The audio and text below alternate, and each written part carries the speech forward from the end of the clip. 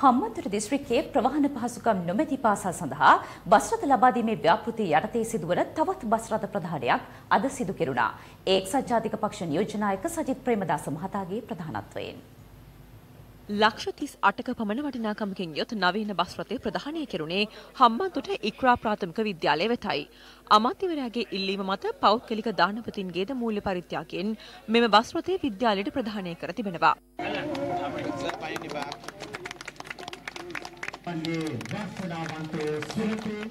අනතුරුව පාසලේ ළමක් ක්‍රීඩාංගණයේ විවෘත කිරීමද අමාත්‍යවරයා අතින් සිදු කෙරුණා.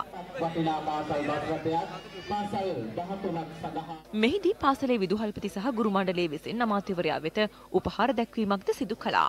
සජිත් ප්‍රේමදාසගේ තනතුර මොකක් සජිත් ප්‍රේමදාස විපක්ෂයේ ඉන්නකොට ආණ්ඩු බලය තිබුණු ඒ දිස්ත්‍රික්කේ ලොකු ලොක්කන්ට තිබුණු තනතුරු මොනවද? ජනාධිපති කන් තිබුණා කතානායක කන් තිබුණා. පාලක පවුලට සම්බන්ධ පුත්තු හිටිය. නමුත් මම අහන්න කැමති මේ දිස්ත්‍රික්කෙන් ජනාධිපතිවරයෙක් දෙවතාවක් රටටම බිහි කරනකොට රටේම රාජ්‍ය නායකයවරයා එකපාරක් නෙවෙයි දෙවතාවක්ම බිහි කරනකොට පාසල් කීයකට බස් රථ ලබා දුන්නාද? එක දෙයක් නම් කරා බීච් වොලිබෝල් ගහන්න ඒ නගරේ මිනිස්සුන්ගේ ඉඩම් ටික උදුරලා බීච් වොලිබෝල් ක්‍රීඩාව ක්‍රියාත්මක කරන්නට ක්‍රීඩාංගණයක් මම හැදුවා. අද මම සතුටෙන් කියන්න කැමති අපේ යහපාලන ආණ්ඩුව එදා රජෙන් කොල්ල කාපු ඉඩම් වලට අපි අද වන්දි ලබා දෙනවයි කියන එකත් මම බොහොම ආඩම්බරෙන් මේ අවස්ථාවේ ප්‍රකාශ කරනවා.